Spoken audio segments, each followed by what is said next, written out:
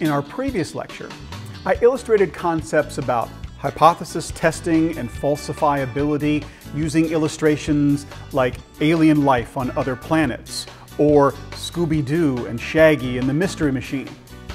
This time, I'm going to talk about hypothesis testing using examples of babies, specifically baby weights. For this to make sense, I need some information from you. Let's find out how much you know about babies. Think about what you know about babies, all the babies you've ever met or known about. What would be a typical number? What would be an average for baby weight? Next, how much variability is there around that average? What would you say would be the range? Let's just keep it simple. What do you think would be a very low or maybe underweight baby? What's the minimum value that would be normal for a baby to weigh? And what would be a maximum value? What would be a baby that you would say, wow, that's a big baby, but still within the range of normal? To help answer this question, I went to the World Health Organization, and this is what I found. In developed countries, the average newborn weighs 7.5 pounds, or 3.4 kilograms, with a range between 6.0 and 10.1 pounds, or 2.7 to 4.6 kilograms. How close were your guesses? Were you spot on, or were you off a little bit, or were you off quite a bit? Now that we know what the numbers truly are, let's apply what we're learning. You continue to search around on the internet and you come across an amazing story. You read about a woman in Siberia who gave birth to a 17 pound, one ounce baby. This is a true story. I know, I read it on the internet. And it also came from Reuters. So I'm going to trust this one. And it has a picture, so it can't obviously be false. But regardless, we get really interested in this story and we start doing some exploration. And here's what we find. And by the way, at this point, I'm making things up. We discover that in Siberia, women routinely give birth to babies averaging 11 pounds.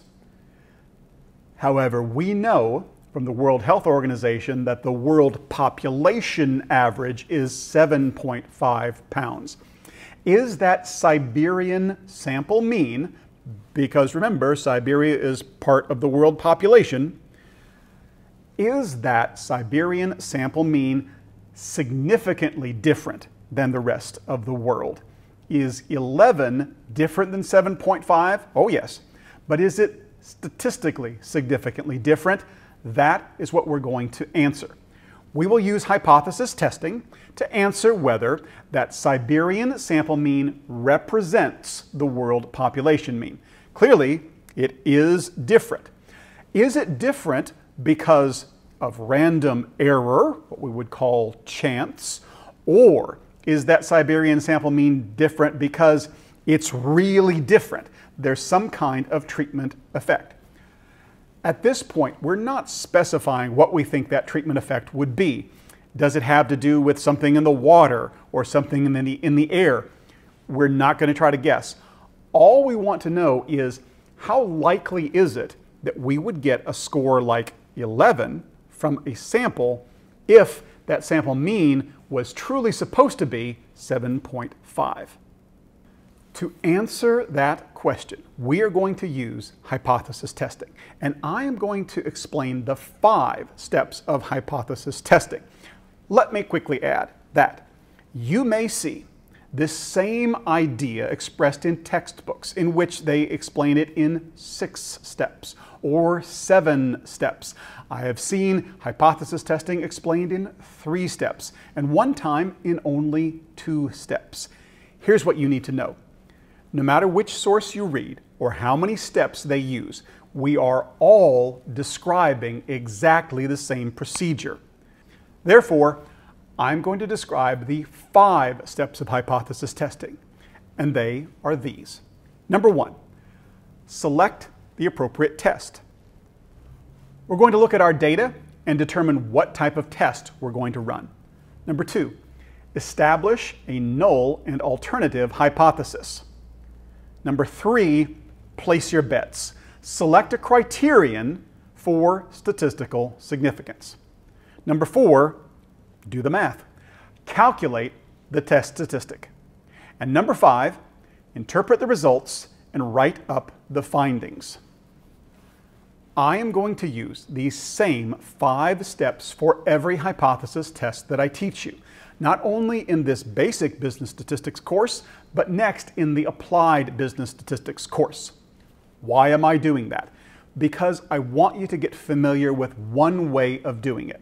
I know that this is not the only way of describing hypothesis testing, but it is a way that works. And by keeping it consistent, you can focus less on the steps and more on what you're actually doing. I am going to show you for every test that I teach you how to write up the results in APA style. I will give you specific examples of write-ups for statistically significant results, for non-significant results, for one-tailed tests or two-tailed tests. That information will be available to you so that after you learn these steps, when you're doing your own research, you will have a model to follow as you do your write-ups. With that, let's get started and we will explore the first of the five steps of hypothesis testing.